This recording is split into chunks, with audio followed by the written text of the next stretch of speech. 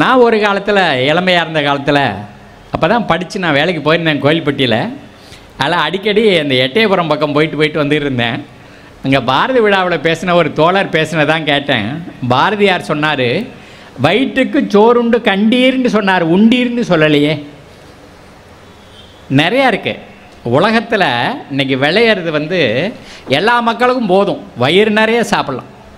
இந்தியாவில் விளையிறதே இந்தியாவில் இருக்கிற அத்தனை பேரும் வயிறு நிறையா சாப்பிட்லாம். ஆரோக்கியமாக வாழலாம். அவ்வளவெல்லாம் இருக்குது ஆனால் சாப்பிடாம பசியோட படுக்கைக்கு போகிறவங்க எவ்வளோ பேருன்னா இருபத்தெட்டு சதவீதம். நூற்றி இருபத்தோரு கோடி நம்முடைய மக்கள் தொகை அப்படின்னா கிட்டத்தட்ட முப்பத்தி ரெண்டு கோடி பேர் பசியோட படுக்கைக்கு போகிறாங்க வயிற்றுக்கு சோறுண்டு கண்டீர் உண்டீர் இல்லை.